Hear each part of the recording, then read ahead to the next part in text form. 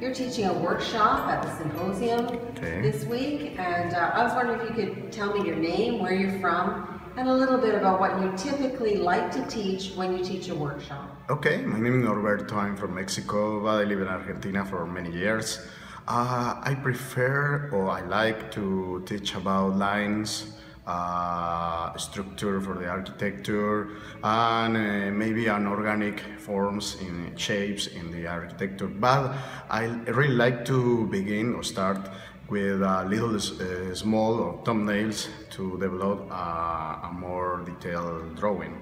Cool. And do you have an example to show me? Yes, of course. For example, in this uh, thumbnail, I um, we're looking for about the, the essence for the place, uh, the synthesized uh, spaces, and the location, and looking for the darkness spaces.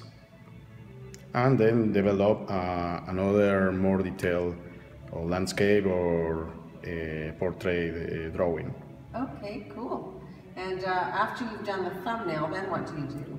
Okay.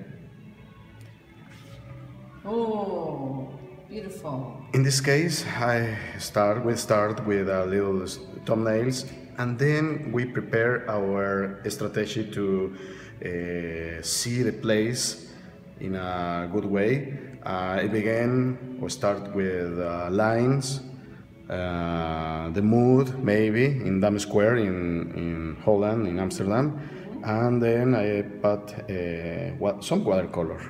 Okay. And do you start with the watercolor or start with a line? With the lines, all lines all the time with a line in this case. Okay. And is this a uh, is this a water soluble ink? Uh, no, no, I prefer non-waterproof ink.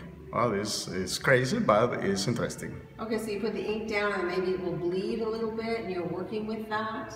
Uh, yes, yes. Exactly like that. Okay. Well, these are beautiful. Thank you so much, Roberto. No, thank you. Okay.